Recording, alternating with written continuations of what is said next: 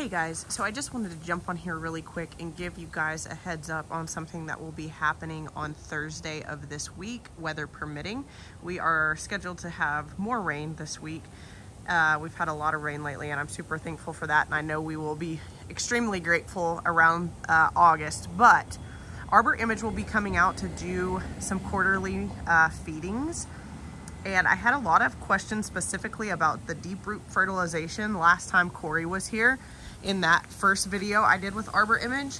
And so a lot of people had said, you know, I bet this tree has been fed, but this is more than just sprinkling some fertilizer on the ground and then letting the trees soak it in. Because if we're being honest, uh, sprinkling fertilizer along the ground the trees probably aren't getting much of that because the shrubs and other uh, flowers, the annuals and perennials are soaking up most of that fertilizer. So they're gonna come out. I'm gonna put a link in the uh, description below and that way you guys can read up on the deep root fertilization and that way you guys can ask or get any questions that you want answered about deep root fertilization and their AIM program, which is quarterly uh, in before. I did a short last time and a lot of people had missed it and they said, you know, oh, I totally missed your short. I didn't realize that there was a short asking for the questions that you wanted answered.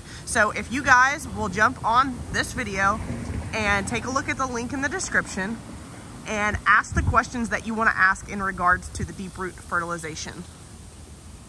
And that way we can get those answered on Thursday, might have the video out on Friday, not sure exactly when I will get it out.